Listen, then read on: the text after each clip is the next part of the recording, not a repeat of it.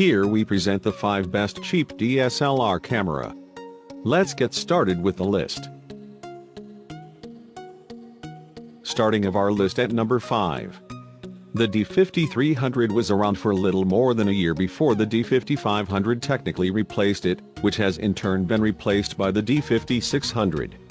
It shares the same 24.2 MP sensor with an identical maximum ISO 25600 sensitivity as the D5500, whilst the D5300's Expeed 4 image processor and 39-point autofocus system have also been carried over to its replacement.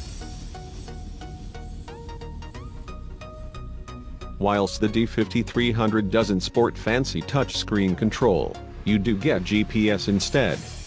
The D5300 600 shot battery life has since been beaten by the D5500, but it'll still outlast a Canon EOS Rebel T6i-750D.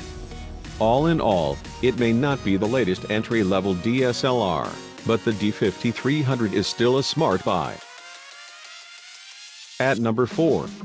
The EOS Rebel T6 known as the EOS 1300D outside the US, is one of Canon's most affordable DSLRs in its lineup and while it doesn't share the same latest tech as newer models, it's still a great a solid choice for first-time users.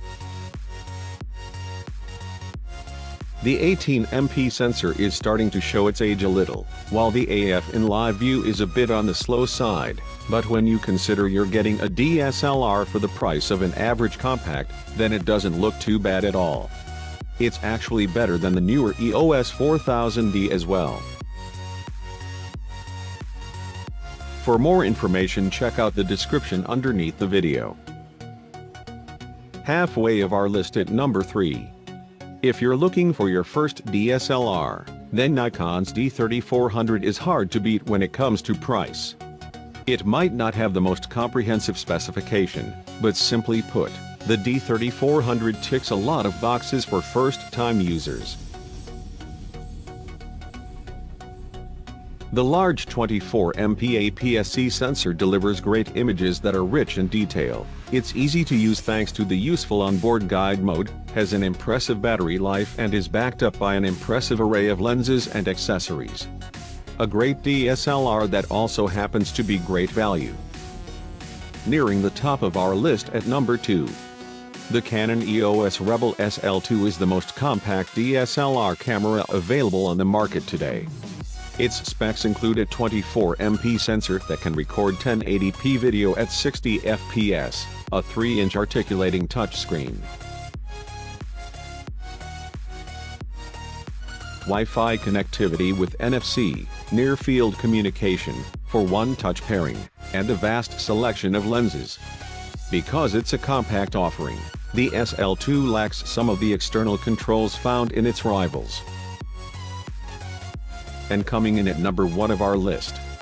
The Pentax K70 is an enticing alternative to the mainstream offerings by Canon and Nikon with a weather-resistant body. Its specs include a 24MP sensor, 1080p video capture, an articulating 3-inch display, and Wi-Fi connectivity. The camera features a dedicated selfie button, sensor-level shake reduction tech, and a stereo microphone. However, being a Pentax product, it lacks the lens ecosystem that bigger competitors can offer. For more information check out the description underneath the video. Thanks for watching our video, for more updates subscribe to our channel.